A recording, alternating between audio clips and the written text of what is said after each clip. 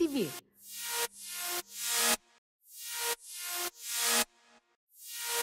Fil Rouge TV, la tua... Buonasera, benvenuti a questa nuova eh, puntata eh, di Fil Rouge TV, sempre in onda in diretta sulla web tv www.filrouge.tv e sulla nostra pagina Facebook Fil Rouge TV. Eh, abbiamo appena eh, concluso con eh, eh, il programma di Anita Sorano di scena. E adesso eh, parliamo di giovani, eh, del loro futuro, soprattutto in questo momento che chiaramente con questa pandemia, con questa crisi, con questo, questi mille dubbi, sicuramente è più scuro di prima. Eh, ho pensato, spero bene, di invitare due, due giovani, tra l'altro un avvocato e un presidente di un'associazione, due persone in gamba, per farci spiegare eh, quali sono le possibilità oggi eh, per evitare appunto di cercare lavoro o fortuna eh, non sicuramente a Palermo in Sicilia, ma al nord Italia. Premessa, penso giustissima, faccio entrare i miei due ospiti, cominciamo da, dall'avvocato eh, eh, Federico Nuzzo. Buonasera avvocato, ciao Federico. Ciao, buonasera a tutti. Intanto grazie per essere qui eh, consulente Resto al Sud. Che, che sì. cosa vuol dire consulente Resto al Sud? Allora, noi abbiamo, creato, noi abbiamo creato un team di consulenti dedicato proprio alla misura Resto al Sud. Resto al Sud è una misura che durerà ancora per qualche anno, è una, la misura più importante che in questo momento esiste per l'autoimprenditorialità al Sud e quindi noi abbiamo deciso di dedicare proprio un team specializzato eh, tra esperti eh, in redazione business plan. Eh, questo team oggi ha presenze in eh, alcune province di tutto il sud Italia e quindi noi da Palermo coordiniamo questi consulenti che eh, rispondono eh, all'esigenza dei nuovi imprenditori di scrivere un business plan e di partecipare alla call di Resto al Sud, che come ripeto è in questo momento a livello di dotazione finanziaria, a livello di opportunità complessiva per la tipologia di imprese che si possono aprire, è l'opportunità certamente più importante che in questo momento c'è e che durerà ancora per qualche anno.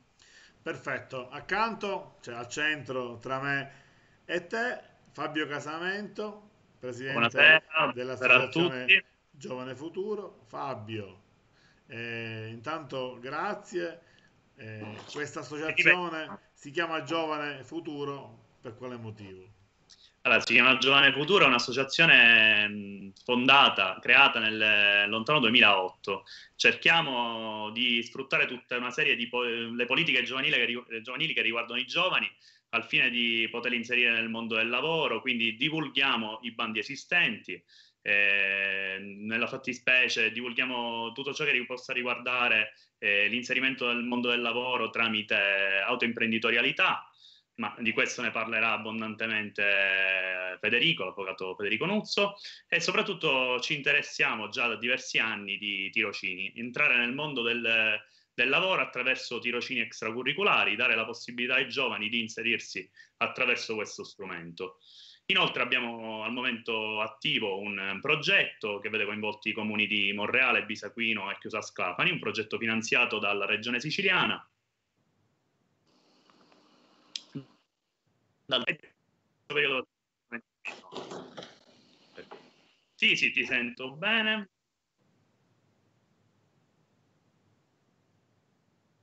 Più tardi di eh, appunto di, di, questo, di questo progetto ci conviene secondo me cominciare subito con eh, sfruttiamolo ecco nel senso appunto positivo del termine Federico, sì. Eh, parliamo di Resto al Sud. Prima sì. di parlare di Resto al Sud, facciamo vedere uno spot che un po' spiega un, sì, sì. che cosa si tratta e poi continuiamo.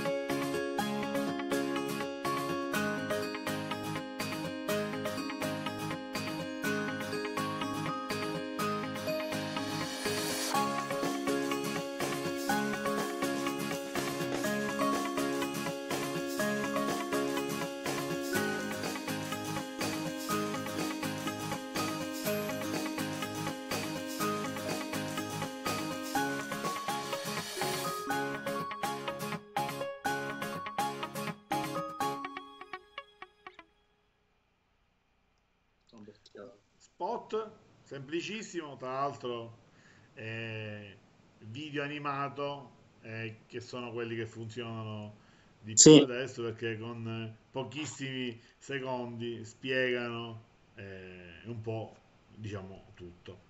Federico, sì. resta allora, al sud. Subito, allora. una, una, cosa che ti chiediamo è un linguaggio comune a tutti, perché ci sono un sacco sì, di persone sì, che purtroppo poi quando vanno dagli avvocati, dai consulenti o no, sentono no. in televisione i professori si confondono. Dico, noi dobbiamo Guarda. avere un linguaggio comune.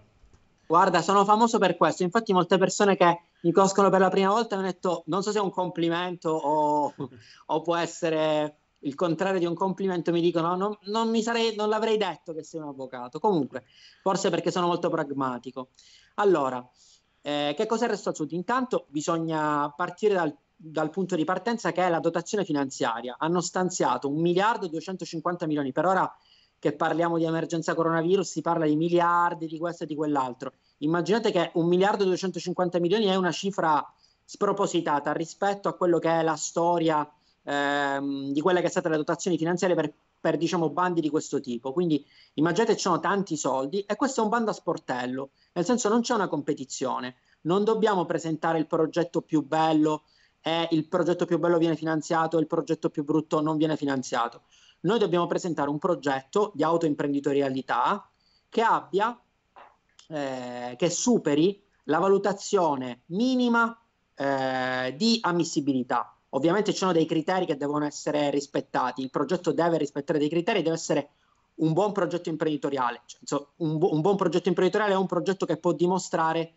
la sua sostenibilità finanziaria, nel senso un progetto che prevede appunto, è un progetto imprenditoriale prevede appunto che l'imprenditore venda un prodotto, un servizio e ne ricavi un prezzo e, e, possa guadagnarci. Quindi è molto importante che il consulente o anche lo stesso imprenditore che si vuole cimentare scriva un progetto che sia credibile con dei dati che possano essere, che possano dimostrare la validità del progetto.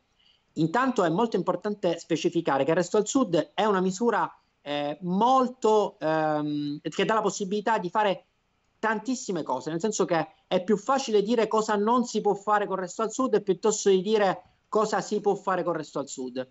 Innanzitutto, eh, quindi si parte da questo presupposto, cosa non possiamo fare con il resto al sud? Noi non possiamo fare un'attività imprenditoriale nel mondo dell'agricoltura. Possiamo fare poss- una slide? Eh, certo, certo, se tu vuoi la riesci a vedere, giusto? A chi si rivolge?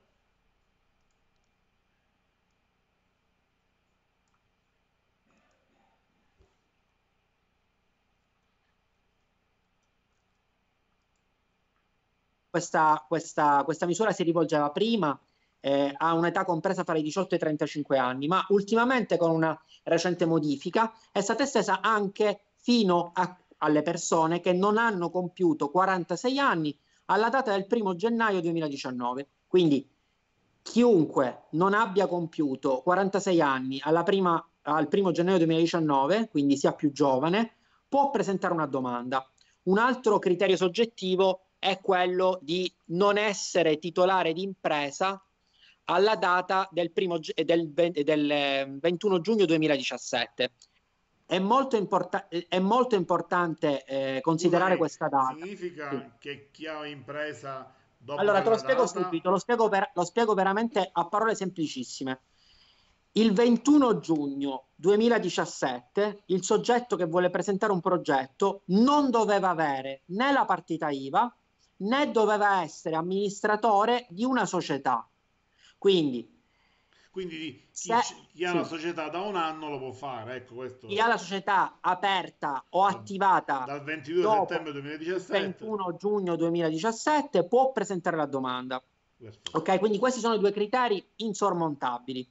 Questi non si, può, non si può scappare a questi due criteri. Poi ci sono altri criteri che riguardano la territorialità, sono criteri che possono o eh, ehm, avere o non avere un contratto a tempo indeterminato. Questo è un altro, un altro diciamo, criterio di, eh, soggettivo di ammissibilità. Non bisogna avere un contratto a tempo indeterminato. Vuol dire che tu puoi presentare il progetto avendo un contratto a tempo indeterminato, ma in caso di approvazione dovrai rinunciare a questo contratto a tempo indeterminato Perché questa scelta? Perché ovviamente quello che si richiede è il massimo impegno dell'imprenditore, è una scelta di vita quella di fare l'imprenditore, quella di aprire una nuova attività e bisogna concentrarsi solo su questo.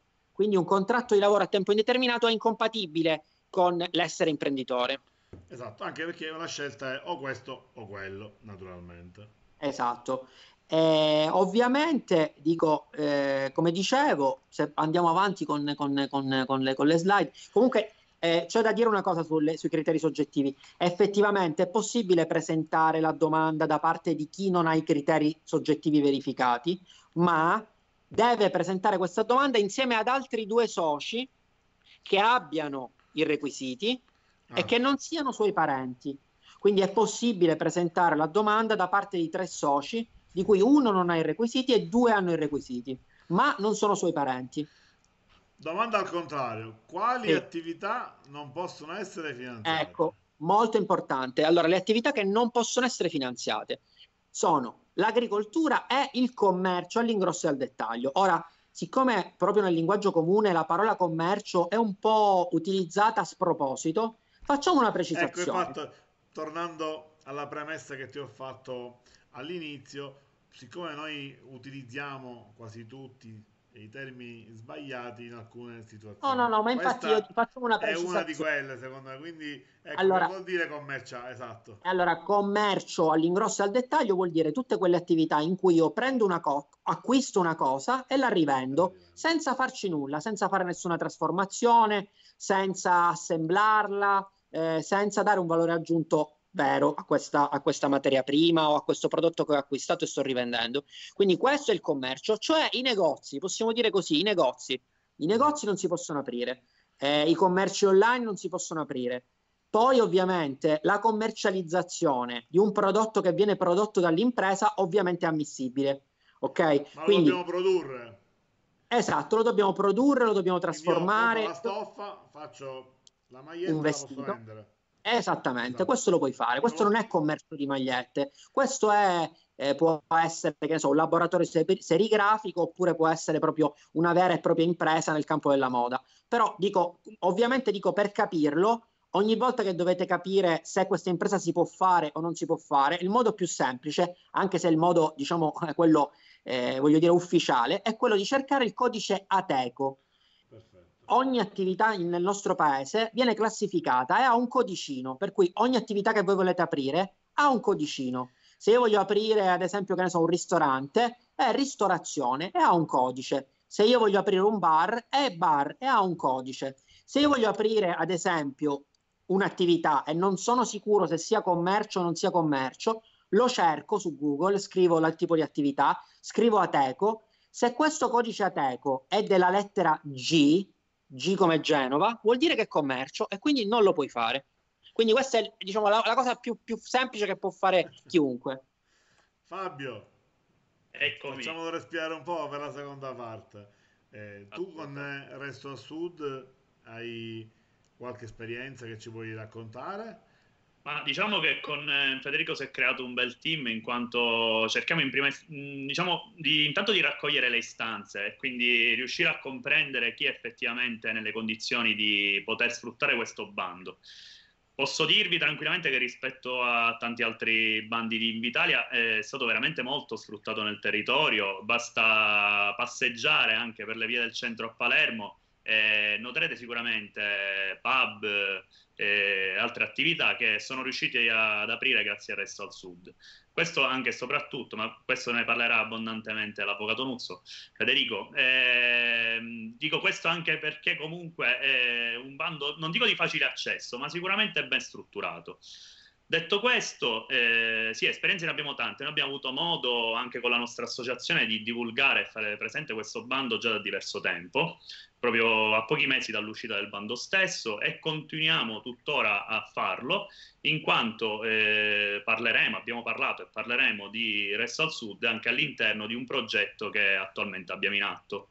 Avevo accennato poc'anzi il progetto Aggregazione 2.0 che è un progetto che fondamentalmente prevede la possibilità di cerca di favorire l'inclusione sociale e lavorativa dei giovani eh, giovani del, dei comuni di Monreale, Bisaquino e Chiusa Sclafani. Dice come mai questi tre comuni si è creato questa splendida partnership in collaborazione con eh, le amministrazioni comunali dei tre eh, territori. Qui è possibile vedere una prima presentazione, un primo laboratorio. Il progetto aggregazione 2.0 prevede eh, la creazione di laboratori. Stiamo facendo, il progetto momentaneamente è sospeso solo ed esclusivamente perché in atto insomma tutto quel che tutti noi sappiamo abbiamo già realizzato dei laboratori i laboratori vengono realizzati a Monreale eh, nel CAEP di Monreale per CAEP si intende centro di aggregazione polifunzionale di Monreale dove all'interno insomma mh, venivano questi ragazzi residenti nei comuni di Monreale e partecipavano a questi laboratori a sua volta noi eravamo in qualche modo già eh, in anticipo rispetto ai tempi rispetto a quello che si è venuto a creare da qualche giorno a questa parte eh, proiettavamo questi incontri in diretta Skype nei CAEP di Visaquino e Chiusa Sclafani, dove erano presenti altri ragazzi che assistevano a questi laboratori. Ma che cosa sono questi laboratori? Sono degli incontri che servono appunto per creare sinergia, collaborazione tra i giovani stessi e che vertono su determinati argomenti. In questi laboratori abbiamo parlato di Resto al Sud, abbiamo parlato anche di sport, di benessere fisico eh, e continueremo a farlo perché il progetto comunque dovrebbe concludersi ad agosto, probabilmente subirà uno slittamento, in quanto comunque abbiamo perso più di un mese per via dell'emergenza coronavirus. Riprenderemo, meglio eh, di prima e più forti di prima. Più forti di prima, come diciamo noi ormai da parecchio tempo. Federico, io leggo nelle slide che chiaramente mi hai fornito, turismo, libera Eh sì, guarda, ti dico, ti dico questo. Turismo... Ieri, esatto. ieri, ieri abbiamo avuto approvato due progetti e sono proprio i progetti più tipici, nel senso noi con il nostro team abbiamo avuto approvato decine di progetti, non ti posso dire il numero esatto, sono meno di 100, però dico sono decine di progetti. Ti devo dire la verità, in Sicilia, eh, nel sud Italia, spesso gran parte delle, delle domande sono sul turismo o sulla ristorazione. Eh, scusate, il cane, il cane, il cane, scusate. Eh, sono sul turismo e la ristorazione. Proprio ieri abbiamo avuto approvate altre due nuove eh, proposte, una proprio una pizzeria da sport. È molto importante dire che eh, ci dobbiamo adattare a questo coronavirus quindi probabilmente oggi una pizzeria da sport ha più possibilità di sopravvivere rispetto a una pizzeria che punta molto a un numero infinito di coperti, ok? E poi abbiamo avuto approvata anche un progetto, per esempio, che riguarda le strutture ricettive extraalberghiere.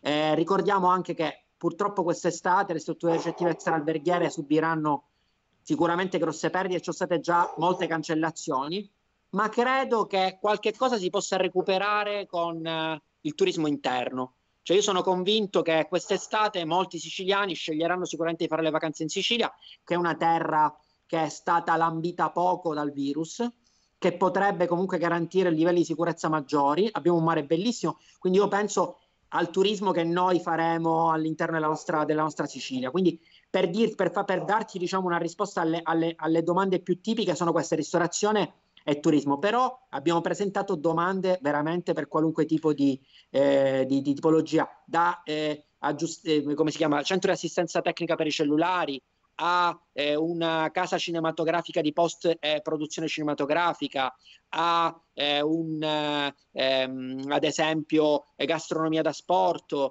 a ehm, guarda veramente uno stilista di moda, eh, a un ehm, parco urbano per eventi, a vari ristoranti ovviamente. Eh, insomma, abbiamo fatto veramente di tutto e di più, e pe- proprio perché il bando ti dà questa possibilità. Eh, un dispiacere è quello, per esempio, che potrebbe essere sfruttato per ora, quello di utilizzare, e ci è riuscito in, in, pochi progetti, cioè abbiamo avuto pochi clienti su questo, su questa tipologia di progetti, progetti totalmente digitali.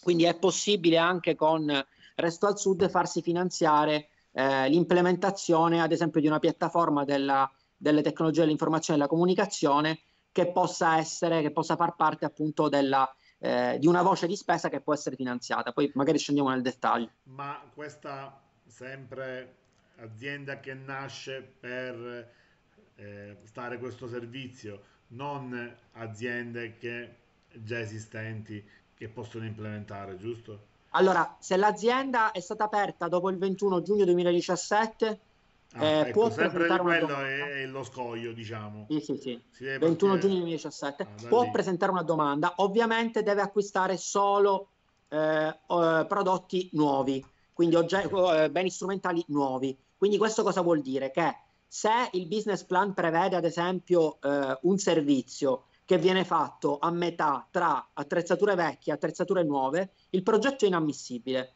Tutte le attività che devono essere fatte in quel progetto devono essere fatte con i beni strumentali che devono essere acquistati in quel progetto.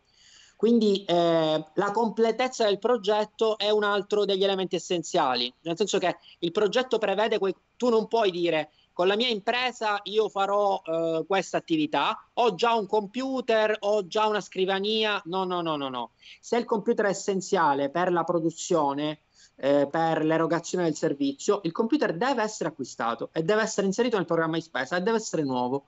Quindi, eh, diciamo da questo punto di vista, per le imprese già costituite eh, sarebbe una vera e propria Beh, rivoluzione.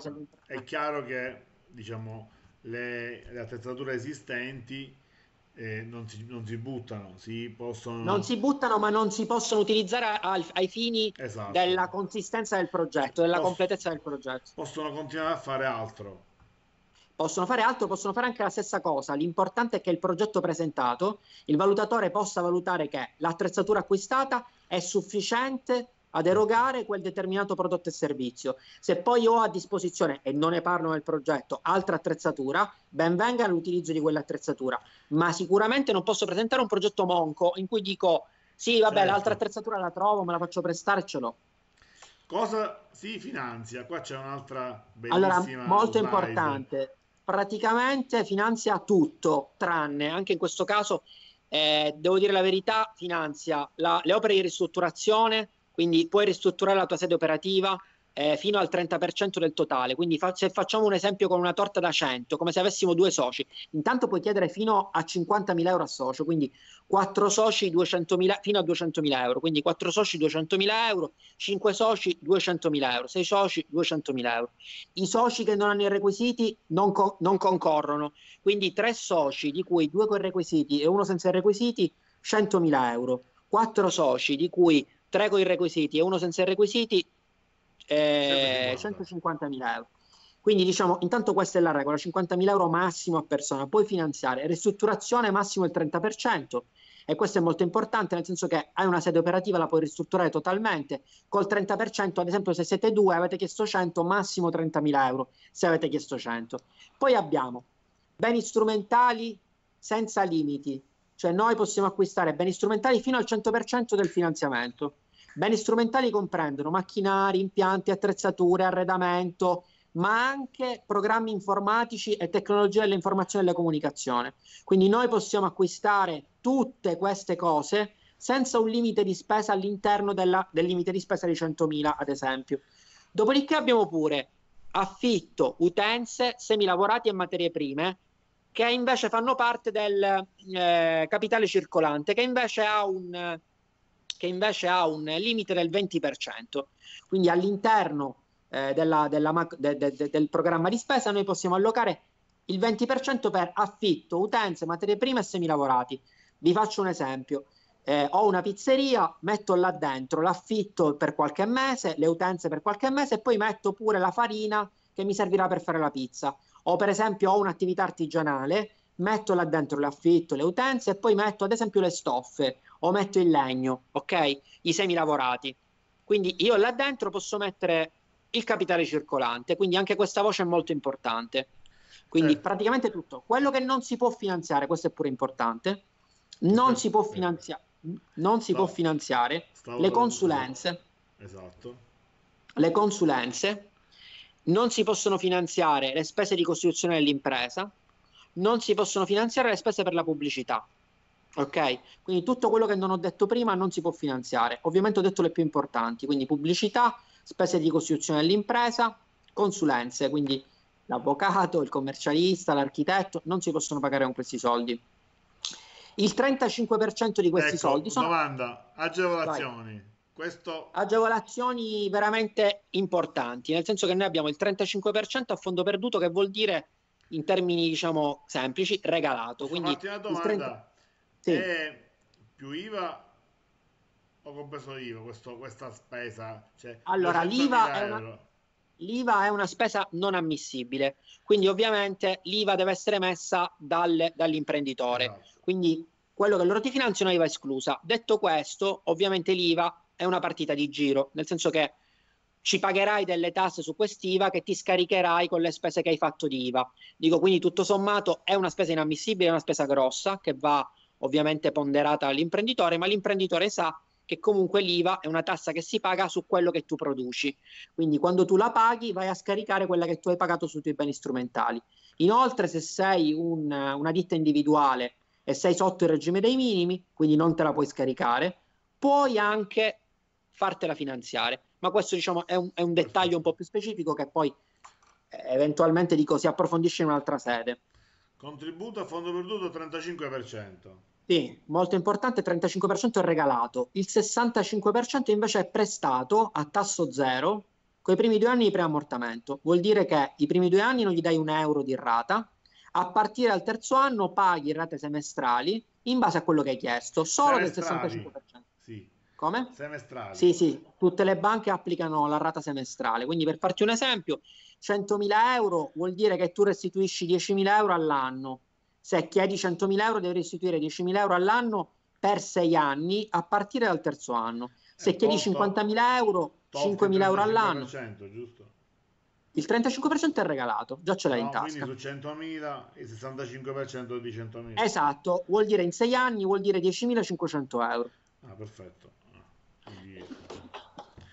Esatto, è molto importante il preammortamento e poi un'altra cosa importante il, il, è che scusami, sul prezzo... gli otto anni e i due che non paghi più sei, giusto? Sì, esatto. Non sono due più otto. No, no, no, no, sono due più sei. E un'altra cosa importante è la garanzia, nel eh. senso che quando ti fanno un prestito, eh, tu ovviamente, eh, dico, eh, lo Stato lo rivuole indietro, ovviamente, questo vuol dire.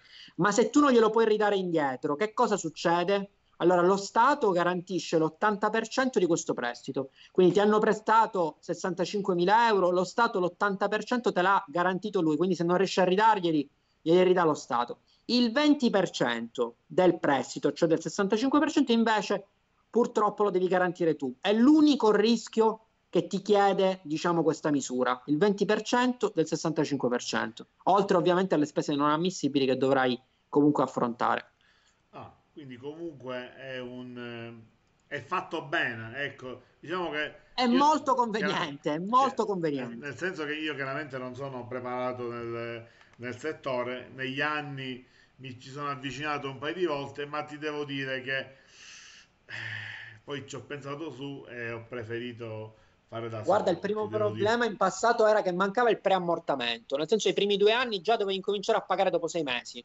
Quindi praticamente neanche tu avevi il tempo di aprire, diciamo. Neanche il tempo di aprire già dovevi pagare il mutuo. Quindi molte imprese non ce la facevano. Invece dare due anni di avviamento sicuramente è un boost importante.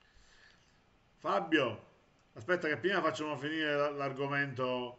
Eh, la valutazione ne abbiamo parlato, i criteri, bene o male. È molto importante sulla valutazione sapere che qua non stiano cercando imprenditori to cure che mettono i piccioli e vogliono fare piccioli, stanno cercando autoimprenditori, stanno cercando persone che con il loro talento, con le loro esperienze, possono mettersi a disposizione del progetto. Quindi soci di capitali che mettono solo soldi e vogliono vedere soldi e che non hanno un ruolo all'interno dell'impresa non sono, non sono ben graditi. Invece, una persona che conosce il mestiere e vuole diventare l'imprenditore di se stesso quello è quello che è il, il, il, l'imprenditore che loro stanno cercando. Quindi è molto importante sapere che se non hai esperienza nel settore, non presentare una domanda perché te la bocciano. Esatto, quindi eh, è importante, dico è chiaro che questo è il vostro ruolo, quello di eh, imbastire chiaramente una pratica eh, che abbia i requisiti giusti per eh, per riuscire appunto ad avere questo finanziamento. Pure è vero è che ci vuole comunque, eh, penso questo è il compito soprattutto vostro, quello di spiegare eh, o dare dei consigli per quanto riguarda l'investimento, cioè nel senso eh, la fattibilità eh, deve avere anche una, una percentuale basta di rischio che non, che non riesca, giusto? Allora, ti dico questo, eh, siccome noi abbiamo la fortuna di avere tantissimi clienti, facciamo un'ampia selezione, nel senso che noi non accettiamo i clienti che noi pensiamo che non possono superare, il, non possono superare la valutazione. Ma soprattutto eh, anche fatta... come contenuto di progetto. Ovviamente noi facciamo uno screening, noi facciamo uno screening per capire se il progetto dico, ha una validità in termini imprenditoriali. Detto questo, poi noi dobbiamo vedere anche le caratteristiche dell'imprenditore. Cioè un imprenditore che ha difficoltà a esprimersi in italiano, un imprenditore che non comprende quelli che sono i minimi, eh, voglio dire, rudimenti di come, come funziona un'impresa e che non è disponibile a imparare, non può superare un colloquio, quindi è inutile che presenti il progetto e noi non glielo presentiamo anche perché noi assicuriamo, nel senso noi garantiamo l'approvazione, nel senso che l'ultima tranche del nostro pagamento non viene fatta della nostra consulenza fino a quando il progetto non è approvato. Siccome c'è la possibilità di presentarlo infinite volte fino a quando non viene approvato, noi lo ripresentiamo fino a quando l'imprenditore non riesce a superare il, il, il colloquio. È ovvio quindi che a noi non interessa eh, diciamo, accettare clienti che ci mettono in difficoltà e che non riescano dopo diverse volte a superare il colloquio.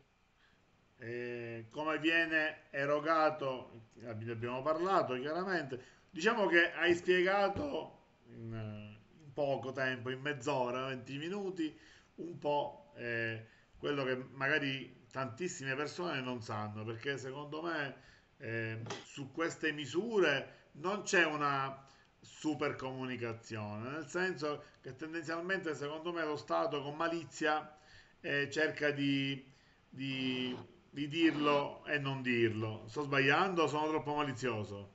Ma ti devo dire la verità che in realtà eh, Invitalia investe molto in comunicazione. Il problema è che ehm, io ho partecipato a qualche, a qualche iniziativa di Invitalia. Eh, il discorso è che loro tendono a fare delle iniziative molto istituzionali, in cui c'è eh, un capo di Invitalia che spiega quello che già tu puoi trovare nel, nel sito di Invitalia, ok?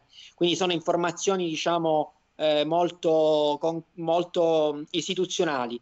Invece, quello che io posso dare, ovviamente, perché io sto da questa parte, sto dalla parte dell'imprenditore, sono delle informazioni molto più pratiche, ok? Quindi è ovvio che Invitalia non può darti delle informazioni pratiche su come, ehm, voglio dire, riuscire a presentare una, una, domanda. Ti deve dare delle informazioni che riguardano molto asettiche, ok? Esatto. E quindi queste, queste iniziative non diciamo. sono partecipate, non sono molto partecipate. Esatto. Poi chiaramente eh, lascia a voi consulenti o comunque eh, che vi specializzate, perché poi eh, Federico sì, fare l'avvocato, ma ti devi specializzare per eh, conoscere tutte le virgole appunto eh, di questa misura in questo caso, che è l'esperienza certo. sicuramente.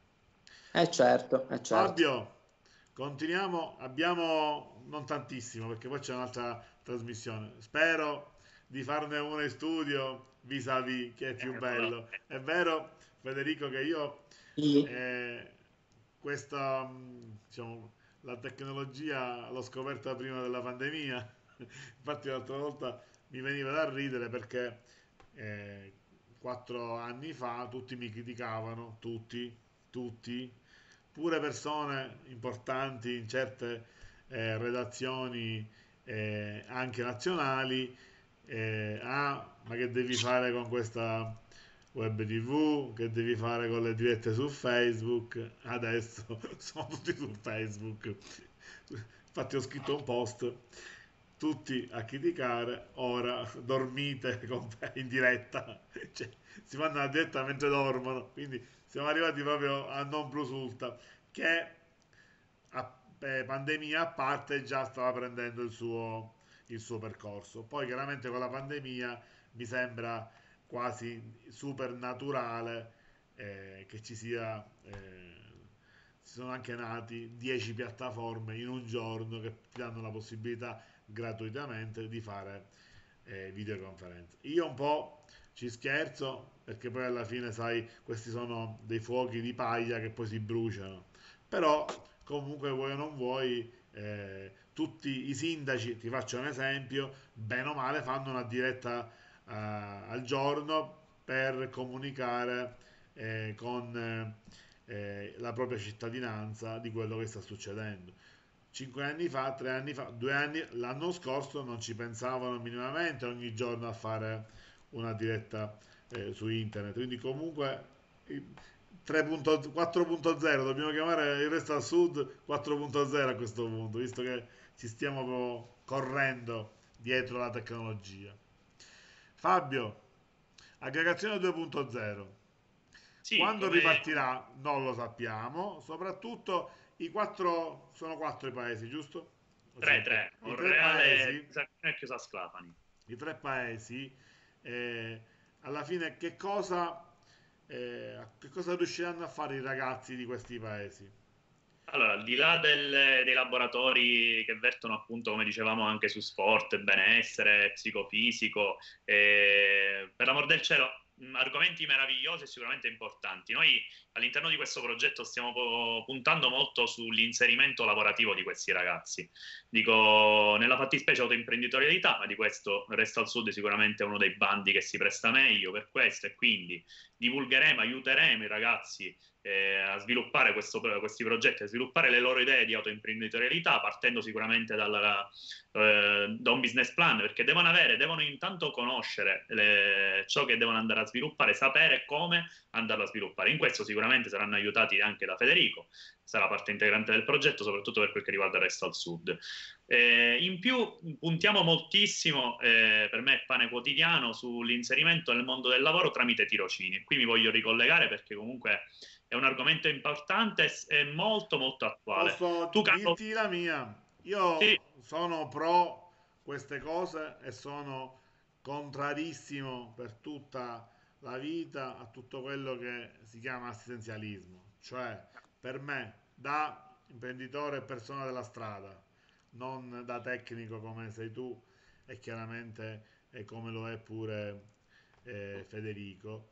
E, ehm, e dico che certe volte ho difficoltà eh, a trovare persone perché quando tu inculchi a una persona a non fare niente e a ricevere 600 euro, tu mi puoi spiegare come io posso cercare una persona che deve lavorare, deve imparare un mestiere con 600 euro? Non verrà mai. È un problema di cultura.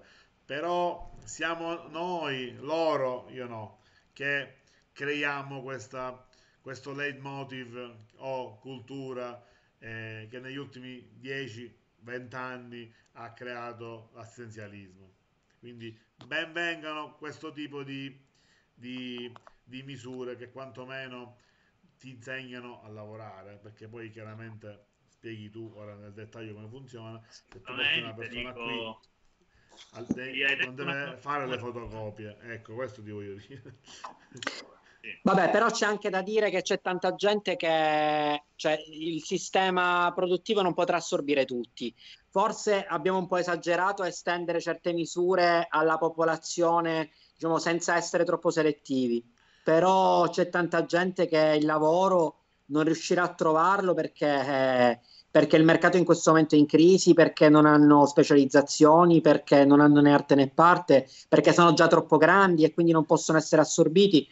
Probabilmente per questi, secondo me, diciamo, è giusto che ci sia una forma, diciamo, di assistenzialismo. È ovvio però che non bisogna essere troppo di manica larga, non bisogna eh, aprire troppo le maglie perché sennò poi c'è una distorsioni come quelle che dici tu, cioè che la gente a questo punto per... Eh, Però dico... Questa cosa di 600 euro, questa cosa di 600 euro, che è inferiore a quella che era diciamo quello che è stato dato come reddito di cittadinanza sicuramente è un punto a favore di questa tua tesi. A me non sono arrivate le 600 euro dico. Ancora no ancora no. E te, te ancora no. dire non me ne fotte niente scusami se mi arrivano o meno perché chiaramente non mi compiono la vita. Però è pure vero che se da tutti è venuto questa lamentela che è diventato il colmo, che chi non fa niente e in teoria aspetta in questo momento potrebbero anche essere eh, annullati i reddito di cittadinanza, visto e considerato che chi... Ma lo sai, ma, ma, sai, ma sai, il reddito di cittadinanza, il reddito di cittadinanza forse, dico sicuramente come ti dicevo, è un po' uno spreco su, su certe categorie, ma ti dirò, quota 100, che costa tanto quanto il reddito di cittadinanza, ha un impatto molto, molto minore nella cittadinanza, non vale niente. Per fare andare 175.000 persone in pensione prima, prima due anni, tre anni, cioè quindi per fare andare 175.000 persone in pensione prima di due anni, tre anni abbiamo speso 9 miliardi. Cioè spiegami tu se questa invece è una spesa, cioè onestamente a me le persone che non riescono a sbarcare il lunario mi fanno più simpatia di quelli che per andare in pensione due anni prima mi fanno spendere 9 miliardi. Scusami tanto, dico, scu- se proprio dobbiamo tagliare, se proprio dobbiamo tagliare. Diciamo che anche lì ieri abbiamo fatto un conto un po' alla femminina, se avessero, se si, se si fossero tolti due mesi di stipendio, quasi mille tra parlamentari, deputati, ministri, eh, questori, assess- cioè tutto quello che gira là, facciamo un conto, magari le mascherine le avremmo potute comprare. O comunque magari queste 600 euro a me sarebbero arrivate come altre 58% Ma non sono questi conti, non lo sono so, questi lo conti. so, però è vero che tutti fanno i, come si chiama, eh, i proclami pubblici, sicuro entro venerdì, c'è un ministro che mi dice sicuro entro venerdì e siamo a martedì, ancora non è arrivato niente. A me sono arrivati, Di a me sono arrivati, a me sono arrivati, sono raccomandati. Vabbè, tu sei con la N, io Valenti qualche altro giorno. Dici, ah, di- potrebbe essere una questione alfabetica, sì, Penso potrebbe essere. Dovrebbe essere Vedremo, questo. vedremo. Ci scherziamo su noi che magari siamo persone normali, però ti devo dire, Federico, magari io ti faccio la polemica col- con, con la battuta, ma c'è chi eh, ha un altro tipo di tessuto sociale ti assicuro che i problemi ancora devono arrivare, perché Vabbè, eh, chi c'ha il reddito di cittadinanza, c'ha il reddito di però cittadinanza. scusa, potevano anche bloccare il reddito di cittadinanza in questo momento. Ma no, ma perché sarebbe stato, sarebbe stato clamoroso, sarebbe stato le persone più deboli, anche le persone più deboli, non solo le persone più deboli, ma anche le persone più deboli avrebbero avuto proprio loro. Semmai tu hai, hai fatto questa battuta sui dipendenti pubblici, non solo i politici. Immagini che il dipendente pubblico non rischia che la sua impresa fallisca perché è l'Italia. Ha uno stipendio fisso e probabilmente ha lavorato anche meno in questo periodo di... Perché non chiedere... dicono che lavorano di più da casa, più Vabbè, ok, lavorano di più da casa, però dico hanno avuto meno spese comunque per, per- per andare mh, sul posto di lavoro, eccetera, eccetera. Ci sono pure dei bonus per eventualmente babysitter. Quella... Perché non chiedere un contributo di solidarietà non ai politici, a tutti i dipendenti pubblici sopra una, ovviamente sopra una certa soglia, che non hanno carichi familiari? Perché non chiedere un contributo a tutti i dipendenti, non ai politici solo? Sai quanta gente c'è che lavora nella burocrazia? Che ha molti meno impegni di un politico che magari, vero, in questo momento si sta mettendo a disposizione del territorio. Chiedere veramente a tutti i dipendenti pubblici, ma anche 100 euro l'uno, 100 euro l'uno per i mesi di marzo e aprile. Ti faccio vedere che se ti fai i conti qualche cosa esce. Oggi mi è arrivato un messaggio che giusto mi ha fatto venire i brividi. Un mio amico, chiaramente non faccio il nome, eh, di lunga data, mi ha mandato un messaggio e mi ha chiesto, tenetevi forte, 20-30 euro di bonifico che sta chiedendo a tanti amici per mangiare. No, 300 Vabbè, però euro. c'è, c'è il bonus C'è- spesa. Dico, si No, potrebbe rivolgere. Palermo, non è di Palermo. Non lo so se Vabbè, ma comunque in tutti i è- comuni c'è, in tutti i comuni c'è, in tutti i comuni. eh, Dico, io leggo questo messaggio, vedi che un pochettino sono sto preso alla botta, ti dico la verità, perché comunque non, non mi aspetto, eh, magari non conosco, non conosco, non vivo i tessuti sociali, quelli proprio ambienti, per carità, però non me l'aspettavo, ecco, mi ha un po' segnato questa cosa. È chiaro che io le 50 euro le farò perché è una questione personale, però mi ha fatto pensare tanto, ma tanto. Non è chiaramente un argomento, però è uscito questa... Eh questa- vabbè, questa- ma inevitabile. Diciamo Allora, che comunque, Ecco, Carlo, Sì. sul discorso, ti appoggio in pieno sul discorso legato all'assistenzialismo. Infatti, dovrebbero essere incentivate maggiormente le politiche attive sul lavoro. Nella fattispecie, eh, parlavamo poc'anzi dei tirocini, soprattutto per i giovani, perché in qualche ecco, modo è spiega, scusami che ti ho interrotto, spiega i tirocini perché poi dobbiamo chiudere, perché faremo un'altra puntata, chiaramente. molto mh, esaustivo in quello, insomma. Allora, tiro- i tirocini fondamentalmente vanno, bisogna identificare, io mh, voglio identificare oggi tre tipologie di tirocini. Tirocini eh, che vertono su eh, un'esperienza lavorativa fino a se stessa, un'esperienza di tirocinio fino a se stessa. Tirocini che invece vertono poi su una, una effettiva assunzione nell'azienda.